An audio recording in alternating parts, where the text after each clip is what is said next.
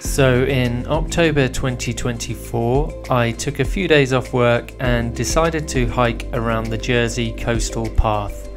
The journey took me four days with two nights in a hotel and one wild camp on the north of the island.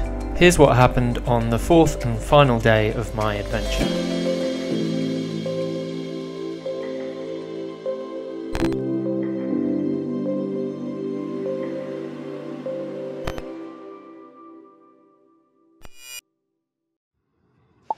Well, good morning from back at Greve de Lecq.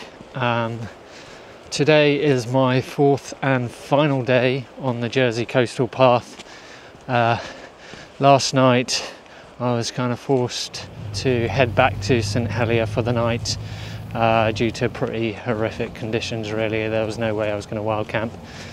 Um, and so I stayed at a hotel called De La Tang, just right by the seafront.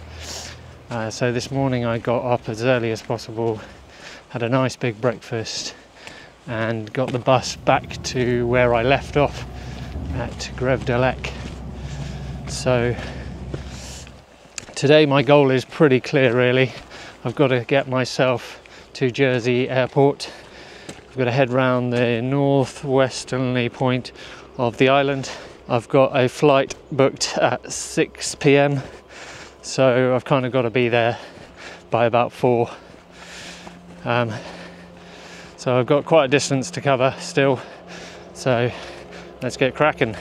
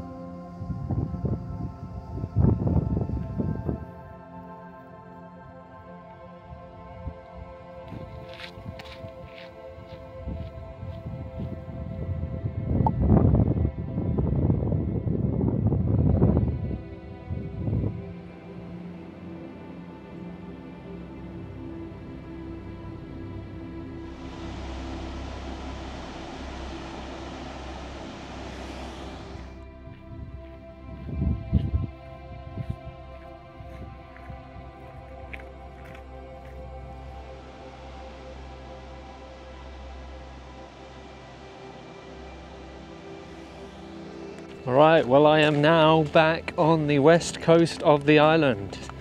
Uh, I just cooked myself a delicious potato and carrot and noodle soup using the last of my gas. Uh, I had it in an incredible spot just overlooking St Ouen's Bay, which is just down there.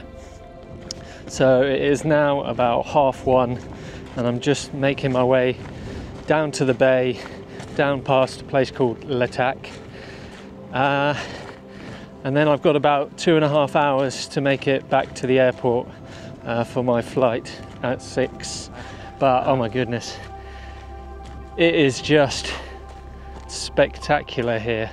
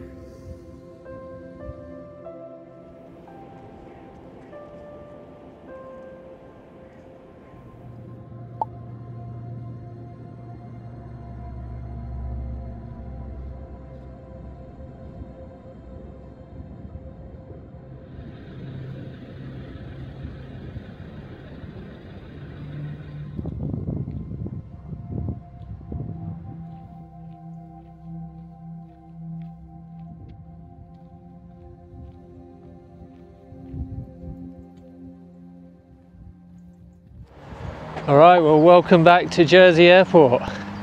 I've done it. I have closed the loop. I've completed the Jersey coastal path. I am absolutely pooped, but that was a lot of fun. Uh, around 88 kilometers in four days. It's been a real challenge. I'm going to go and catch my flight now. It's in a couple of hours. So, yeah, that's it. Thanks for watching. If you did enjoy this series, please do let me know by commenting below or hitting that subscribe button. I'd like to continue making more travel adventure videos like this, so it really does go a long way in helping to support the channel.